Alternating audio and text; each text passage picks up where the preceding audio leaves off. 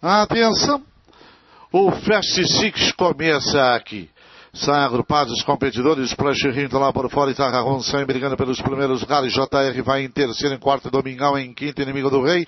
Último Dark Color, Splash Rinto dominou, tirou cabeça e pescoço e meio corpo para Tarragon correndo no segundo lugar. Tarragon não se entrega, o trem saiu muito ligeiro. O Domingão posiciona-se perto no terceiro lugar. JR por dentro em quarto, inimigo do rei em quinto aberto. Longe em último Dark Color, segunda parte da curva. O trem é muito ligeiro para turmas de trás podem chegar. E a briga entre Tarragon e Splash Rindon comportam a última curva e entram pela Herbinal. Splash Rindon por fora, Tarragon por dentro, enquanto JR avança, Domingão vem pelo lado de fora. Splash Rindon tira vantagem, JR carrega pelo lado de fora e vai buscar o primeiro lugar. Splash Rindon na ponta, cabeça, pescoço, JR carrega pelo lado de fora.